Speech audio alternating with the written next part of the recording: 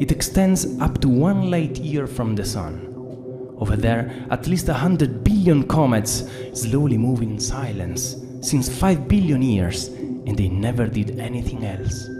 Comets are frozen books on the origin of the solar system, until some star nearby may push them toward the sun. Then their long journey begins, a never ending fall that cannot be stopped, a constant acceleration that seems never to grow speed.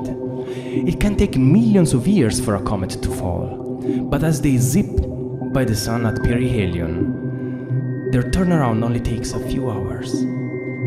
Then they go away, maybe forever, following their paths, perhaps open, perhaps closed. They are parabolic, hyperbolic